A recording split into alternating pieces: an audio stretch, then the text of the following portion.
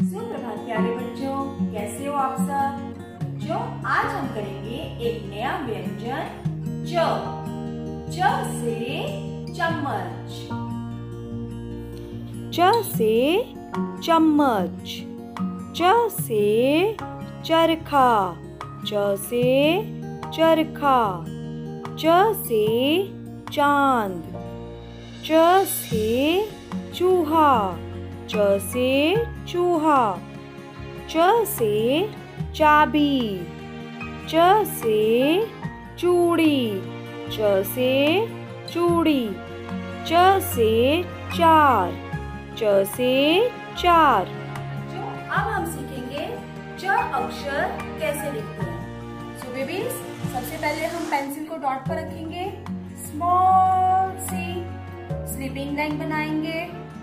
Then नीचे आते हुए हम कर्व बनाएँगे और डॉट को टच करेंगे लाइक दिस देन हम ऊपर जाएँगे, फिर नीचे आएँगे और एक सीधी लाइन बनाएँगे।